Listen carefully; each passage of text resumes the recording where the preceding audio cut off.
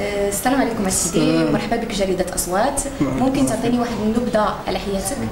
الاسم ديالي بشر الحسين آه، 43 سنة متزوج عندي أربعة البنات من الجالية المغربية مقيمة بشمال فرنسا.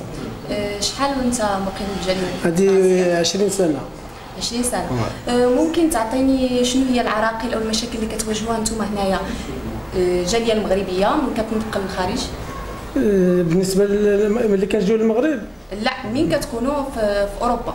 آه، في أوروبا ما بالنسبة كنهضر أنا على نفسي ولا اللي كنعرف ما كاينش مشاكل في أوروبا. يعني زعما إلا خدام بالنسبة للصحة والتعليم لولادك وهذا كلشي مضبوط. ماشي زعما للأوراق في بالنسبة القنصلية الأوراق في القنصلية كان زمان كان كيكون مشكل. مي دابا ملي تدخل صاحب الجلالة الملك محمد السادس نصره الله ولات الأمور مزيانة واللي كتقضي غرضك بظرف آه، ربع ساعة ولا نص ساعة كتقضي غرضك وتمشي جريدة أصوات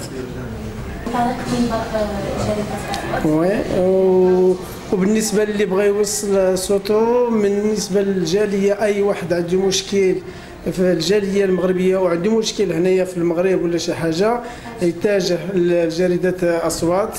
باش يوصل صوته للمسؤولين اللي, كيقوموا بهذه المشاكل ديال الناس آه، في المغرب هنايا بالنسبة للجالية المقيمة بالخارج. نعاودو صافي.